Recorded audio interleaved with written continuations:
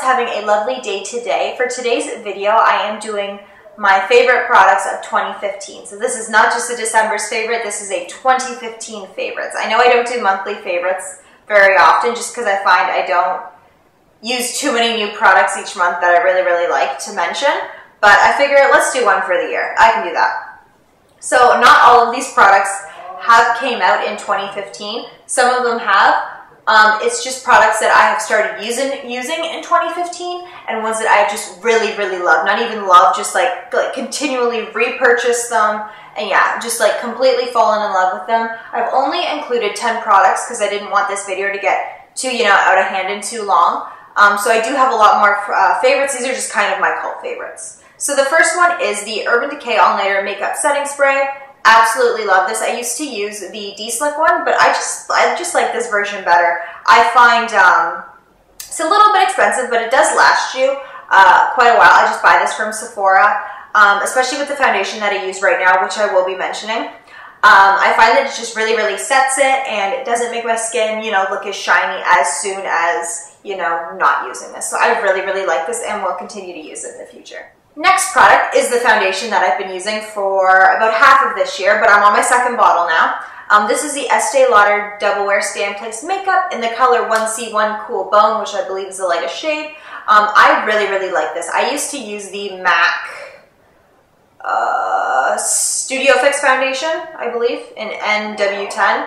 Um, I like that foundation. I just find that this stays on my face a lot longer and it's not making my skin look oily and shiny and gross. Um, yeah, I just think this stays in place, as the name says, a lot better. It's a little bit more money, but I find I don't go through this as quickly. Another thing that I really, really like is my MAC pump fits on the bottle, and I believe it was Sophia Storer, I'll link her channel down below, um, that told me about to use the MAC pump on the bottle, which I really, really appreciate because then I would have to, you know, dab it in my hand every single time. This makes it a lot easier. So thank you, Sophia, for letting me know of that, you know, trick. Next thing is another MAC product. This is one that I picked up in the summer. This is an eyeshadow. This is all that glitters. So it is, I really, really like this color. So that's what it looks like. It is kind of a light rose gold, very, very shimmery. This is a Veluxe Pearl, if anyone knows much about, if you know much about the uh, MAC formulations of their eyeshadow. So it applies, it looks very shimmery, but it applies almost metallic very smooth. You know, it's very creamy, really long wearing. I will definitely purchase this again when this one runs out. Next one is an eyebrow product. This is one that I got from Topbox, and this is pretty fantastic because I only pay like $13.50 a month for Topbox, I believe. And this is a full-size product. This is the Benefit Gimme Brow. That's what it looks like. This is for light uh, hair. It kind of just looks like a brow mascara. You know, it's just a tinted. I really like this. Um, I'm using, I use this right now, but I also have the uh, Benefit Brow Zings, which is the little compact that has the powder and the tinted brow gel um, that you have to brush on. I just find this looks a lot more natural. I find you don't overdo this as much as with the compact and it takes like half the time. So definitely, definitely will be purchasing that again. Next two items that I have are both MAC lipsticks. And if you've been watching my videos for, you know, any amount of time, you know that I'm obsessed with MAC lipsticks. This is one that I got. This is my most, recent purchase. I believe I got it same time I got my All That Glitters shadow. I think it was July for my birthday. This is a cream sheen formula and this is Peach Blossom. I have it on my lips right now but that is what it looks like in the tube. It's just a nudie pink. I know it says peach, but I find it's more like a pinky peach than just a straight up peach. Next one is a very popular shade for 2015. I got this, I want to say in the spring sometime. This is Brave, and it is a satin. This one's a little bit darker and, again, not as shiny as uh, Peach Blossom. Yes, that's the color, Peach Blossom. This is definitely more cool. This is more like a dusty rose.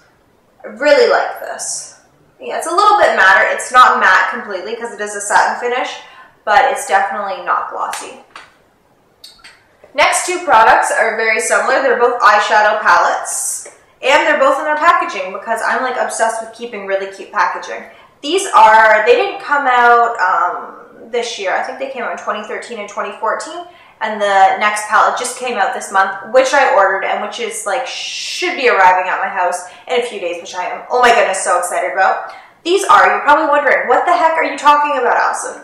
These are the Too Faced Chocolate Bar Palettes. This is the original one, and this is the semi-sweet. This is the second one. I'm going to be getting the Bonbons palette soon. So this is what the packaging looks like because I think the boxes are just too cute to throw out. That's what the back looks like. I will show you the first one. I think these shadows are just so pigmented. The packaging is just really nice and durable. It's a magnetic uh, closer, which I really, really like. And uh, yeah, I think also the assortment of colors and finishes are just, you know, phenomenal. Only thing I don't like about the first one is that all the names are written on this, you know, cellophane insert. But you have a mirror in the front, which I'm going to try to cover. So that's what it looks like. And I also like how you have two shades that are bigger because you know those are your highlight shades. I find and you're gonna I find I use those the most. So like you get more of that. So that's what the first one looks like. I find this one is a little bit more cool toned than the second one. The second one is definitely a warm palette. That's the first one, and I believe these retail for $59 at Sephora Canada. I know that's what the Bonbons palette uh, retails for. This is what the outside of the second one looks like. And this one, they listened to all the complaints from the first one and didn't insert, you know, the cellophane and put the names right in the packaging, which I like. So this is a lot more oranges and warm browns. And I do really like this one still. I find that there's more of a shade variety in the first one though. But I still really like this and I'm actually wearing it on my eyes today. Um, a lot of people don't like this palette, but I, I like it. I just like the first one better, I think. So definitely if you're in search of uh, palettes, definitely scoop those up. And another thing that's fantastic is they smell like chocolate. It's fantastic. Last two products, thankfully, because I'm getting a sore throat from talking for so long. This is the Becca. I'm sure everyone has this, or most people have it or know about it. This is the Becca Shimmering Skin Perfector in the Jaclyn Hill shade Champagne Pop. Got this in July for my birthday. I bought it for myself. This is what it looks like. It is super, super creamy, pigmented, and shimmering. Like, it is a strong highlight. This is not a subtle highlight at all. It looks kind of, I don't know how to explain it. It's like rose gold, but a little bit more gold than rose, if that makes any sense. It doesn't appear this bright on my skin, thankfully, because this is just too much for my fair skin. But like, I am like the fairest of the fair, and it looks good on me, and it looks good on someone with much darker skin, which I like. So it's kind of a universal shade. I've got it on right now. I don't know if you can see it. The lighting's not fantastic in here. Um, but yeah, I really like it. And I find it's so pigmented, you don't need to use much. So it's going to last me quite a while. Last product is a little bit boring, but I know 2015 was pretty much the year of contouring. So I don't know how many, but like just tons and tons of contouring palettes came out this year. So of course, you know, Allyson being obsessed with makeup, I had to, you know, buy one. And a thing that I found really hard and kind of frustrating was I'm so pale and all the contour palettes that I wanted, they included so many shades, but most of them were too dark for me to use. So it didn't really make sense for me to spend, you know, 50 or 60 bucks on, you know, this gorgeous palette where I could only use one or two shades. So this wasn't cheap, but I got a little bit of a smaller palette that just has two shades in it that, you know, work for my skin tone and I can wear, you know, both of the shades. This is the Makeup For Ever sculpting kit in the shade 2. And what I like about this is it is nice and cool toned. It's fair enough for me, I find.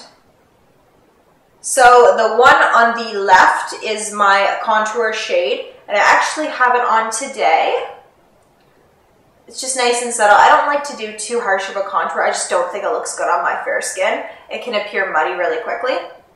But what I really like about the shade is it is cool. You know, it's not warm at all, and it's matte. The worst thing that I think for a contour shade is for it to be super, super warm and shimmery because that's really, truly not a contour shade. Then that's a bronzer, and then you should be applying it all over your face in my opinion. You know, do it, do whatever you want. I'm not telling you how to apply makeup, but just for me, I think that my skin is more suited to cool tones for a contour. Um, the one, I guess, on your left is a much lighter shade, and this is a matte highlight. I don't use this shade that much just because it is matte.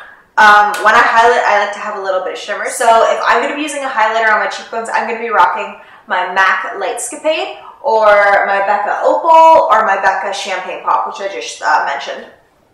This, uh, the lighter shade in here, I like to just use to set my under eye concealer. I find it just really brightens up that eye area and it also, you know, locks my uh, concealer in place so that it doesn't crease because that's an issue that I have and I think probably a lot of uh, people have with their concealer. Um, so yeah, I really like this uh, palette, and I think this was 55 or $60, so it was a little bit pricey, but it's so pigmented and creamy, you don't need to use much, so this is going to last me forever. So guys, that was the 10, uh, 10 of, I guess, my cult status uh, products of 2015 that I just absolutely am so happy that I have and will definitely be keep repurchasing. Um, I'm very uh, excited to see what 2016 brings uh, for me in terms of makeup, obviously. Um, if you guys have tried any of these products or if you have, you know, your own list of, you know, cult status uh, products, feel free to, you know, leave me a comment down below, telling me about them because I'm always excited trying out new products. If you guys like this video, please make sure to like it. It really, really helps me out. Um, again, follow me on Instagram and Twitter and like me on Facebook if you haven't already. I'd really, really appreciate that. And if you have any video requests for future videos, please private message me or leave me a comment down below. Again, really appreciate that as well. And I hope everyone has a fantastic day. Uh, tomorrow is New Year's Eve, so yeah, let me know what you're doing tomorrow if you're doing anything exciting. As I've said before, I don't think I'm doing anything. I'm probably watching videos and hanging out with my husband and my dogs, which is fine. Completely content with doing that. So, uh, yeah, I hope everyone has and is having a great, uh, I guess, holiday week if you're off of work and school. And yeah, I'll see you guys later. Bye. So Tresemme kindly sent me these products to try out and review, um, so therefore I didn't have to pay for them at all. However, this video is not sponsored at all. They're not paying me to give a uh, certain review for you guys. So the only thing